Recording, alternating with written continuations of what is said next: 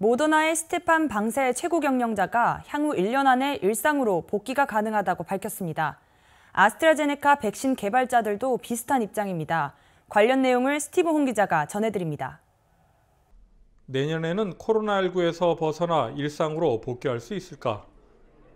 스테판 방셀 모더나 최고 경영자는 가능하다고 답했습니다. 그 이유로는 코로나19 백신 생산이 확대돼 충분히 백신을 확보할 수 있는 점을 제시했습니다. 또한 코로나19는 독감과 비슷한 수준이 될 것이며 예방접종을 제때 한다면 가능하다고 덧붙였습니다. 영국 제약사 아스트라제네카와 백신을 공동 개발한 옥스퍼드 대학교의 사라 길버트 교수와 존벨 교수는 백신 접종률이 높아지는 가운데 바이러스 확산은 약해지고 있다고 평가했습니다. 또한 델타 변이보다 더 강력한 변이는 출현하지 않을 것이라고 예측하며 코로나19 바이러스도 계절성 질병으로 자리 잡게 될 것이라고 내다봤습니다. KTN 뉴스 스티븐입니다. 연방식품의약국 FDA에 이어 연방질병통제예방센터 CDC도 화이자가 개발한 코로나19 백신 추가 접종, 이른바 부스터샷 접종을 고령자와 장기 요양시설 거주자에게 권고했습니다. 접종 대상자는 약 2,600만 명으로 추산됩니다. 이번 결정으로 세계보건기구 WHO는 백신 공급률에 대한 불평등 문제를 우려하고 있습니다. 연방질병통제예방센터 CDC가 소속 자문단 예방접종 자문위원회에 화이자 백신 부스터샷 권고를 받아들여 승인했습니다. CDC는 최종 접종을 완료하고 최소 6개월이 지난 65세 이상 고령층과 장기 요양시설 거주자를 대상으로 했습니다. 18세에서 64세에게도 기저질환이 있다면 부스터샷 접종 1회를 권고했습니다. 현재 부스터샷은 화이자와 바이오엔텍이 개발한 백신만 승인됐습니다. 콜린스 국립보건원장은 모더나와 존슨앤존슨 백신 부스터샷의 CDC와 FDA 심사도 곧 진행될 것이라고 전했습니다. 앞서 바이든 정부는 백신 접종을 마쳤더라도 시간이 지남에 따라 항체 수가 떨어지기 때문에 18세 이상 모든 미국인에게 부스터샷을 제공하겠다고 밝힌 바 있습니다. 하지만 이번 CDC 결정으로 모더나 백신 접종이 제외됐을 뿐만 아니라 백신 접종 대상자가 대폭 축소됐습니다. 그럼에도 미국의 부스터샷 승인으로 약 2,600만 명이 추가 백신을 받을 것으로 예상되면서 전 세계 백신 불평등이 더욱 악화될 것으로 보입니다. 세계보건기구 WHO는 세계 백신 공급량의 82%가 선진국으로 들어가고 있다며 아직 백신 수급에 어려움을 겪고 있는 나라를 위해 부스터샷 접종을 연기할 것을 권고하고 있습니다. 최근 화이자가 개발한 코로나19 백신이 정식 승인되면서 델타 항공사는 코로나19 백신 접종을 하지 않은 직원들에게 월 200달러 추가 보험료를 요구했습니다. 그 결과 백신 접종을 하는 직원이 대폭 증가했는데요. 자세한 내용을 박진남 기자가 보도합니다. 델타 에어라인 직원들의 코로나19 백신 접종률이 월 200달러의 추가 보험금을 청구할 것이라는 회사 측의 발표가 있은 이후로 82% 급증했습니다.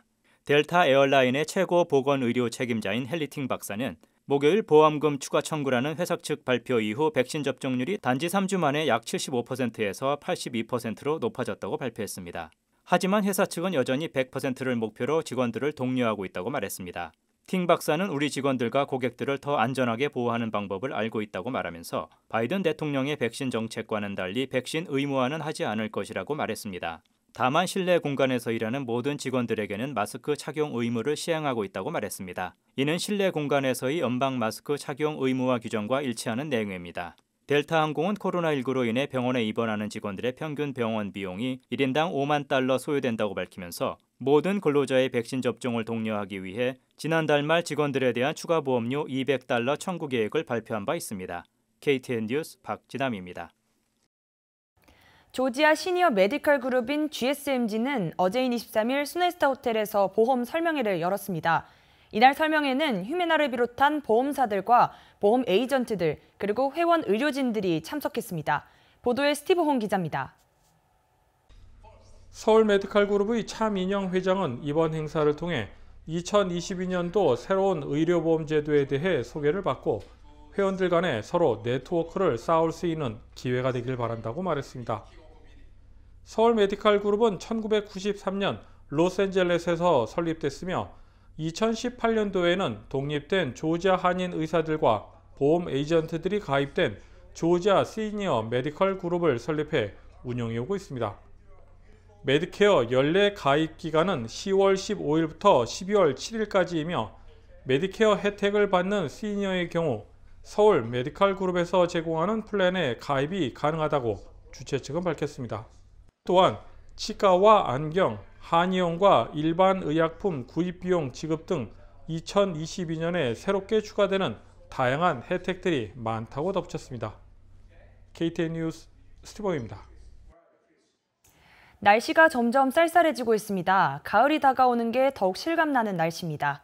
이번 주말 조지아 전역에 가을맞이 다양한 축제가 열립니다. 애틀랜타 한인회관에서 열리는 코리안 페스티벌은 오늘 저녁 6시 40분 전야제를 시작으로 열렸습니다.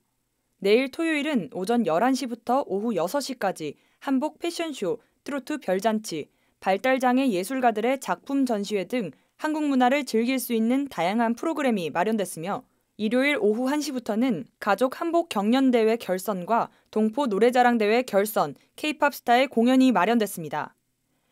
같은 날인 토요일 둘루스 다운타운에서는 제38회 둘루스 Fall 페스티벌이 열립니다. 매년 9월에 열리는 이번 행사는 지난해는 코로나19로 취소됐습니다. 둘루스 Fall 페스티벌은 토요일과 일요일 오전 8시부터 시작되며 20개가 넘는 라이브 공연과 공예품 판매 등 다양한 행사가 진행됩니다. 퍼레이드는 토요일 오전 10시 메인 스트리트에서 웨스트 로렌스빌 스트리트를 거쳐 뷰포드 하이웨이까지 행진할 예정입니다. 행사 기간 동안 주차 공간이 제한되기 때문에 셔틀버스가 운행됩니다. 다음은 스포츠 소식입니다. 금주 경기 소식을 배준경 기자가 종합했습니다. 애틀랜타 팔콘스가 3주차 경기를 치릅니다. 팔콘스는 시즌 첫 두 경기를 내리 패배하며 이번 경기에서 반등이 필요한 상황입니다. 상대도 역시 2패를 기록한 뉴욕 자이언츠입니다. 팔콘스의 성적과는 반대로 조지아 서던 대학 출신의 팔콘스 키커 구영회는 두 경기 동안 세 번의 필드골 기회를 모두 성공시키며 지난 시즌의 활약을 이어나가고 있습니다. 야구 소식입니다. 애틀랜타 브레이브스는 오늘 저녁 10시 경기를 시작으로 김하성이 몸담고 있는 샌디에이고 파드레스와 3연전을 치릅니다. 정규 시즌이 단 9경기 남아있는 상황에서 브레이브스는 현재 3게임 차로 내셔널리그 동부지구 2위인 필라델피아 필리스에게 추격받고 있습니다. 현재 내셔널리그의 플레이오프 현황은 중부지구 1위 밀워키 브루어스와 서부지구 1위 그리고 와일드카드 한 자리를 샌프란시스코 자이언츠와 LA 다저스가 확정지은 상황입니다. 중부지구의 세인트루이스 카디널스가 83승으로 남은 와일드카드 한 자리에 가장 가까운 상황에서 브레이브스는 동부지구 1위의 자격으로 플레이오프에 진출하는 것이 가장 이상적인 상황입니다. 이어서 골프 소식입니다. 경년으로 펼쳐지는 라이더컵이 이번 주 진행되고 있습니다. 라이더컵은 미국 선수들과 유럽연합의 선수들이 각각 팀을 이루어 경쟁하며 포섬과 포볼, 그리고 싱글 플레이 방식을 사용하여 경기를 치르게 됩니다. 1999년까지 홀수해에 열리던 라이더컵은 2002년부터 짝수해에 펼쳐졌으나 2020년 코비드-19 팬데믹으로 인해 1년 연기되면서 올해 다시 홀수해에 열리게 되었습니다. 올해 미국 팀에는 패트릭 캔틀레이, 조던 스피스, 필 미컬슨, 브라이슨 디섐보, 더스틴 존슨 등 쟁쟁한 선수들이 모두 출전했고 유럽 연합팀도 이에 맞서 욘 람, 로리 맥킬로이, 세르히오 가르시아, 빅터 호블란드 등이 출전 중입니다. KTN 뉴스 배준경입니다. 다음은 코로나19 소식입니다. 오늘의 코로나19 현황을 종합했습니다. 9월 24일 오후 2시 50분 기준 미국 내 코로나19 누적 확진 환자는 4,356만 2,229명, 누적 사망자는 70만 3,527명입니다. 어제 하루 동안 신규 확진 환자는 13만 8,306명 늘었고 신규 사망자는 3,578명 증가했습니다. 주별 누적 확진 환자는 캘리포니아, 텍사스, 플로리다, 뉴욕, 일리노이 순으로 많습니다. 주변 누적 사망자는 캘리포니아, 텍사스, 뉴욕, 플로리다, 펜실베니아 순으로 많습니다. 다음은 조지아주 코로나19 현황입니다. 오후 2시 50분 집계에 따르면 조지아주의 누적 확진 환자는 120만 7,024명, 누적 사망자는 2만 1,991명으로 집계됐습니다. 신규 확진 환자는 6,697명 증가했고 신규 사망자는 126명 늘었습니다. 다음은 카운티별 집계입니다. 풀턴 카운티 누적 확진 환자 10만 6,496명, 누적 사망자는 1,505명입니다. 목요일 대비 신규 확진 환자는 194명 늘었고 신규 사망자는 5명 늘었습니다. 귀넷 카운티 누적 확진 환자 10만 5,219명, 누적 사망자는 1,248명입니다. 신규 확진 환자는 259명 늘었고 신규 사망자는 8명 늘었습니다. 이상 오늘의 코로나19 현황이었습니다.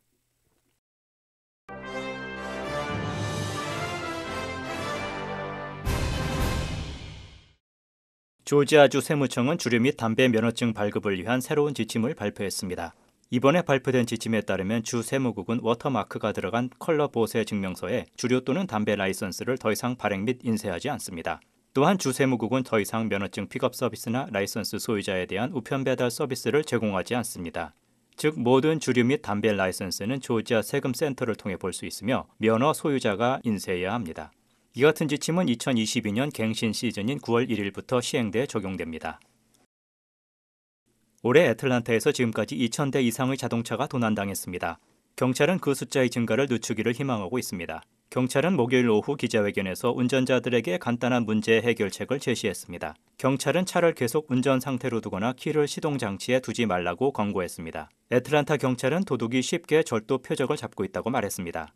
연초에는 절도 차량의 약 70%가량이 시동키를 꽂은 채로 자리를 비웠고 현재는 60%로 떨어졌지만 여전히 높은 수치라고 말했습니다.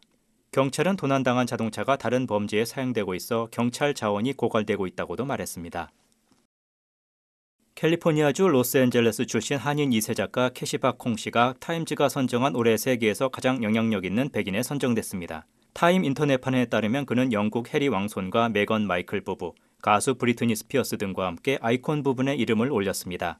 그는 시인이자 수필가로 지난해 코로나19로 아시아 혐오가 급증하자 미국 사회의 아시아계 차별 문제를 다룬 에세이 마이너 필링스를 출시해 큰 화제가 된 인물입니다. 이 책으로 전미 도서 비평가 협회상을 받았고 퓰리처상 논픽션 부분 최종 후보에도 올랐습니다. 이상으로 9월 24일 KTN 뉴스를 모두 마칩니다. 시청해주신 여러분 고맙습니다.